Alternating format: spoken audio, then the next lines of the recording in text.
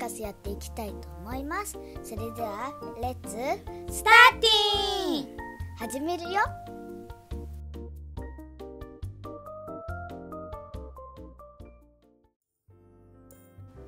はい今日も読み聞かせやっていきたいと思います久々ですねはい今日はこっちゃんから2丸読みでやっていきたいと思いますレッツスタートちょっと何かすごいことを耳にしました。学校？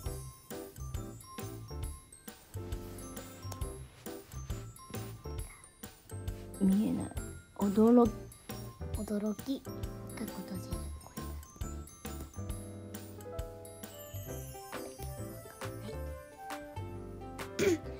れ レプリあレプティリアン？ここ星黒い星に住んでる人？の異星人？異星人なうん違う異星ね。星人の血液型は B P あ P P 星 P に足が生えてる。P あ R R どうなる H ん？RH マイナス。RH マイナスだとか。だから RH の H マイナス。血液型の人はレプティリアンもしくはレプティリアンの血がすごい人だとか？濃いあ濃い人だとか？えー、ってことで明日よ,、ね、よろしく。お願いいたします。こんにちは。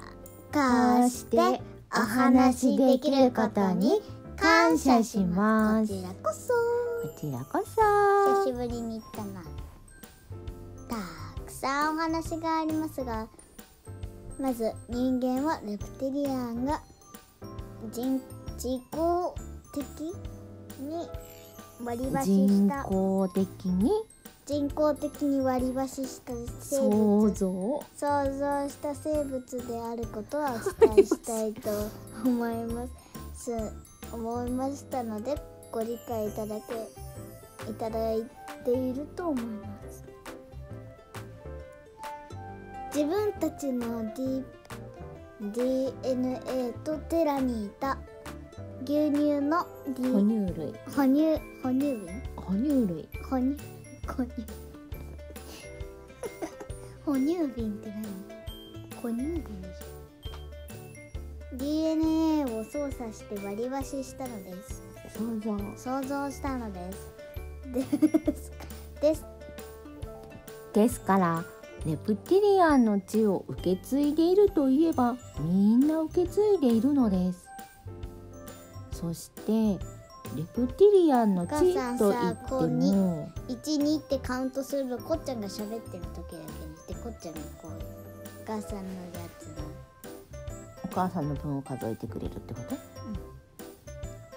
そしてレプティリアンの血と言っても人間の血液とは違います。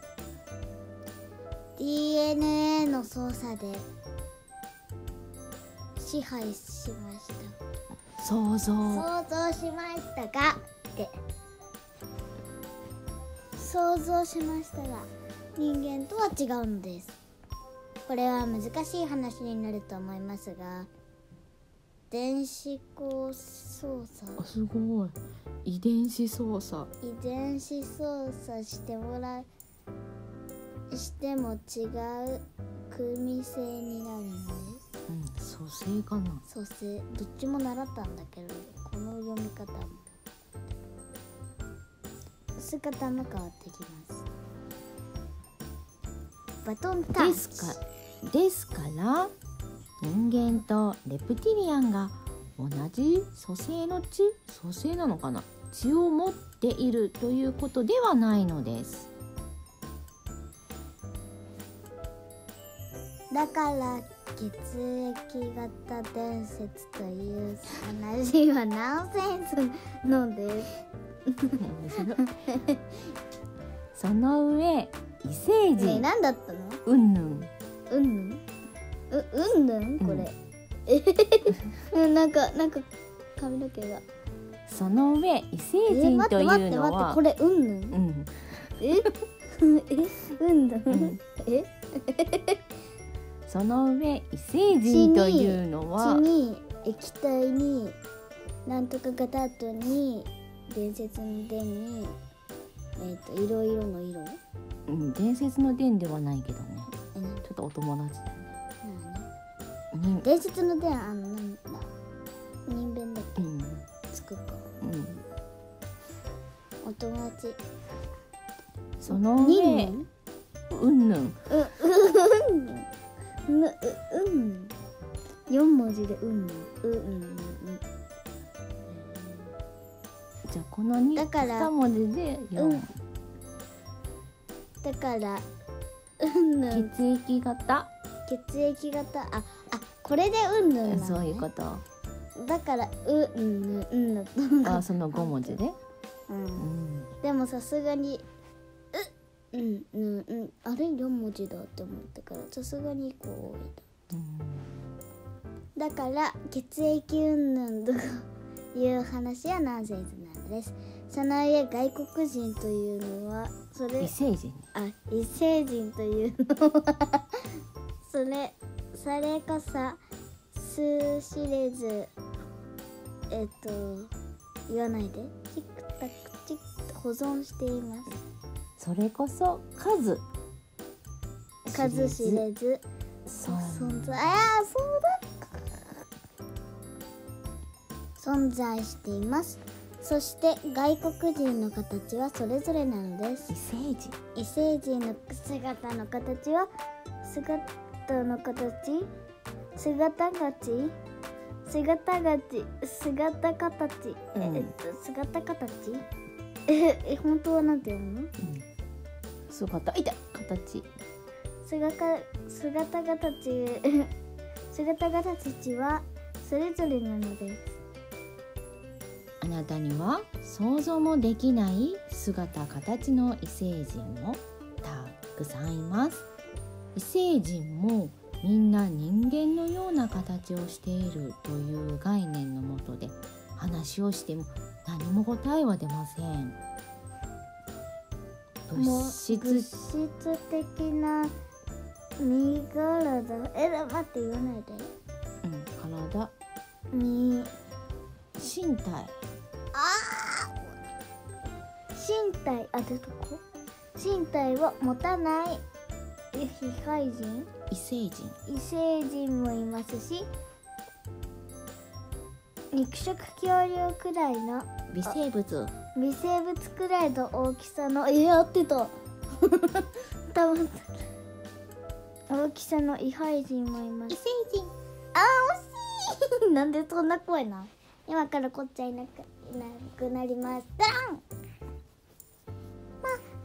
し巨大な姿の異星人もいますしそれこそ体から液体を持たない異星人もいます。あ体から液体を流さない異星人もいます。ってことは流す異星人もいいの？面白いね。あなたたちの科学で例えば火星には酸素がないので宇宙人は存在できない。いない、うん。ということを言いますがそれはとてもナンセンスな考えだということです。酸素がなければ生きていけないという考えはとても短絡的です。自分が思ってることが現実になるってことだから思っちゃってるから現実になっちゃう。人間が関係がないとい酸素酸素がないと生きていけないから。だから他の生物の惑星惑星の生物も素直がなければ酸素がなければ生きられないなどという論理。論理は人間だけをネギに根拠根拠にして根拠に考えているからですよ。素直あ酸素がなくても生きれる生物はいますのですよ。逆に酸素が毒になる生物もいるのです。実際にテラの上にも酸素を必要としない生物菌類などもいますね。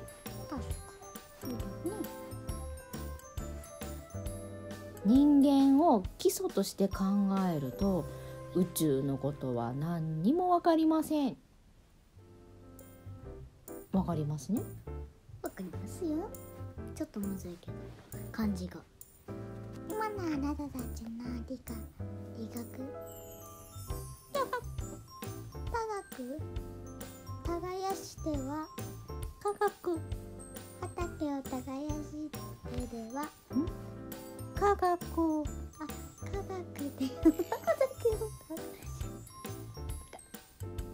科学では時計を理解できない。到底到底到底到底理解できない。到底理解できない想像もできない想像もできない生物がいるのです。そして物質世界だけではなくエネルギーで存在している生物もいるのです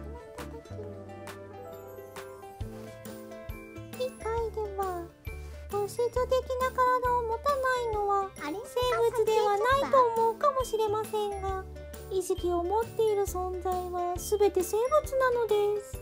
そしてとっても単純な質問ですが疑問。疑問ですが誰がレプティリアンの血を？採血。バケバッケツ。拷問爆バケツ？採血採血して成長したのでしょうか検査検査したのでしょうか実際にレプテリアンの血を調べた上で血液型は RH9 のスと決定したのでしょうか。これなのです。これがあなたたちの思考なのです。少しだけ考えればすぐにわかることだと思います。レプティリアン異星人の血液型と聞いてまず誰が採血してそれを調べたのかというところに疑問を持たないことが私には疑問なのです。それこそ単純は証拠証拠はどこにあるのでしょうか？ことです。目に見えて実際に会ったことがあると同じ血液ですと言われた言われればまた信じられると思います。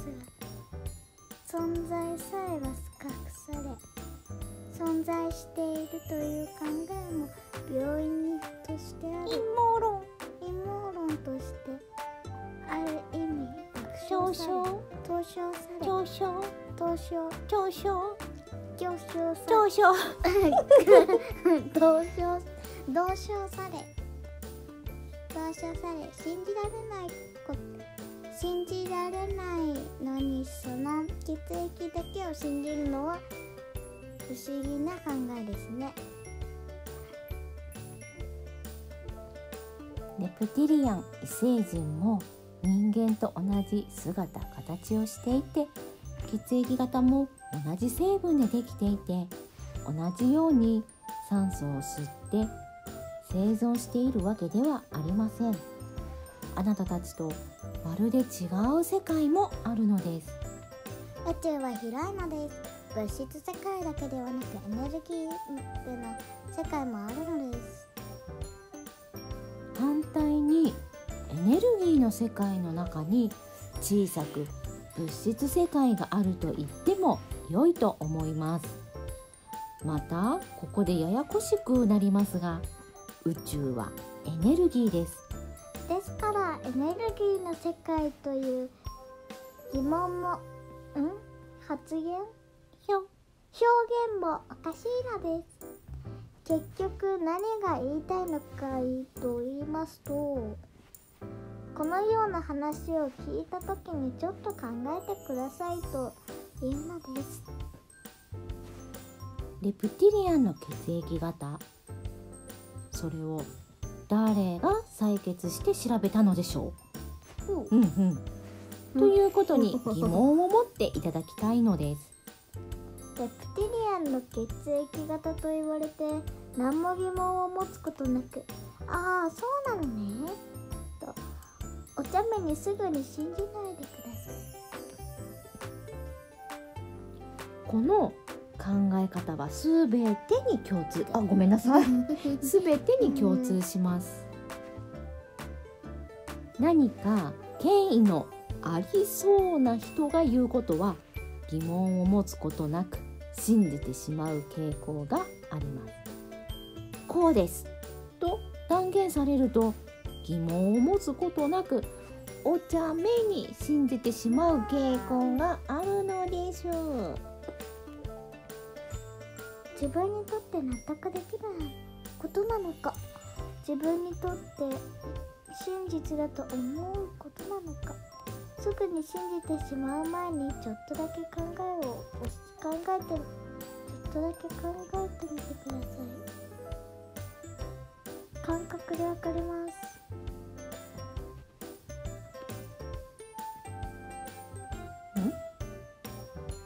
何か変じゃない？って思うことができます。間がすごいね。それは？感覚なのです。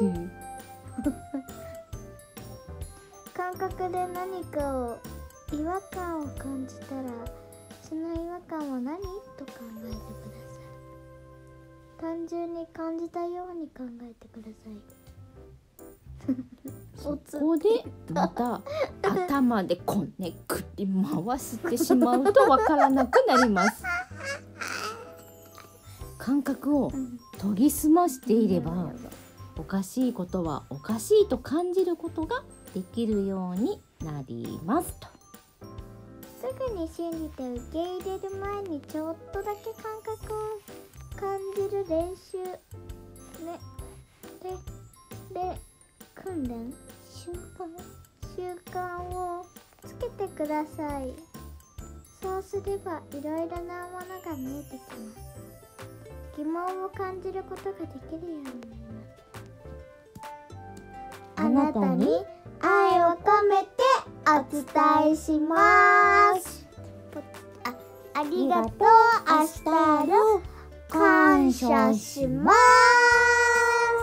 ポチポチ。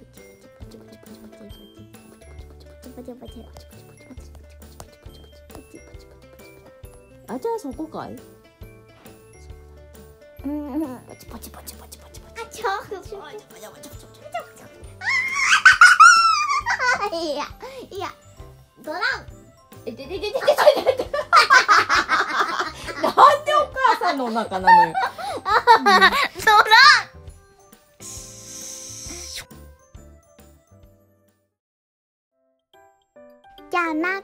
こっちゃんクイズをしたいと思います。その前に前回の答えを言いたいと思いますよ。前回の答えは昨日。あ昨日じゃない。今日読ませていただいたブログは南さんでしょうかあつさんでしょうかちなみに問題が丸1は、えー、南さん丸2があつしさんです。今日読ませていただいたのは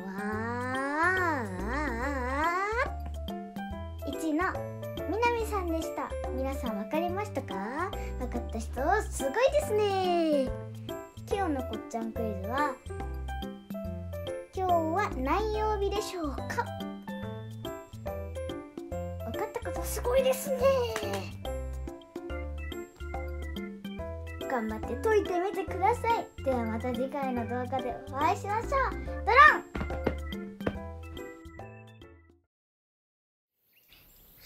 がでしたでしょうか？この動画を面白いなと思ってくれた方はチャンネル登録高評価よろしくお願いします。それじゃあまたね